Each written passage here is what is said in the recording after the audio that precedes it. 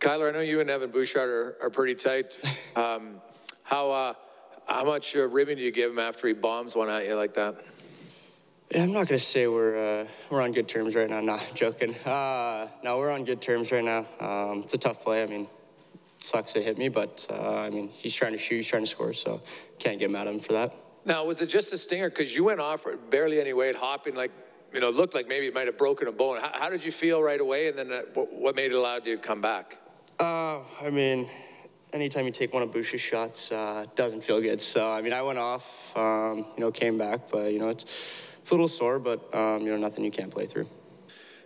Your team's on, on a pretty good roll here um, ever since Jay Woodcroft took over. You know, both offense, the, the defense has reduced goals significantly, but the offense is actually up, you know, over half a goal a game work. What's been the addition offensively that you believe has helped you guys? Well, what's been the tweak that's allowed you to score more goals, specifically five on five?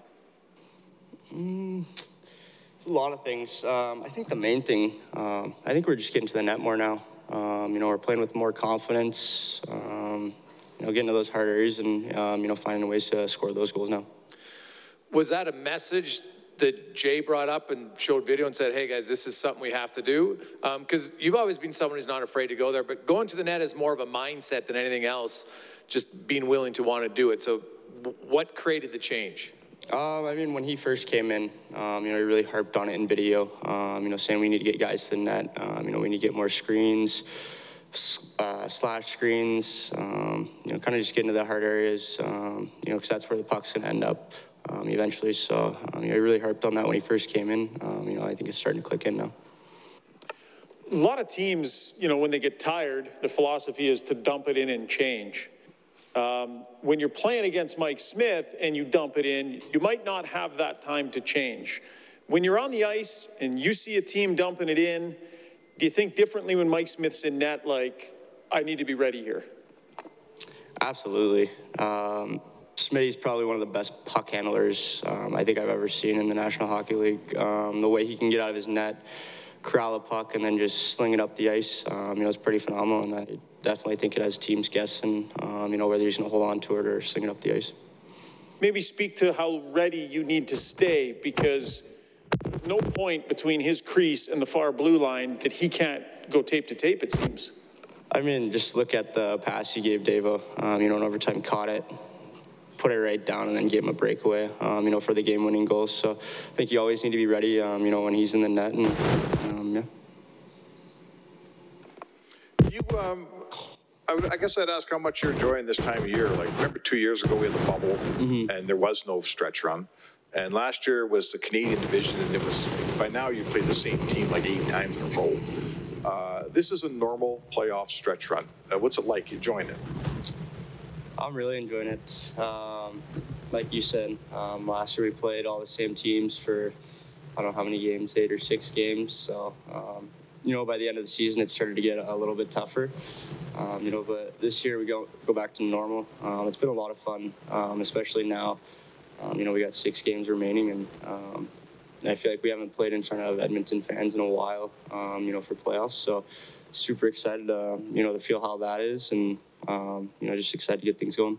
You guys are on the sort of upper edge of the playoff thing. You still got to win games, but it's not desperation every night like some teams. I don't know if you're watching the other games.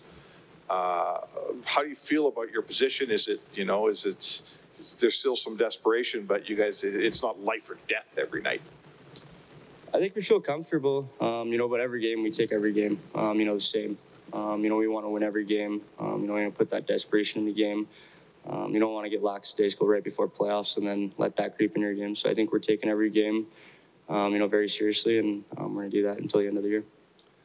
Kailer, do you enjoy getting under the skin of some opposing players? It looks like Rantanen doesn't like you much, and he outweighs you by about 50 pounds and is about five inches taller. Do you enjoy that?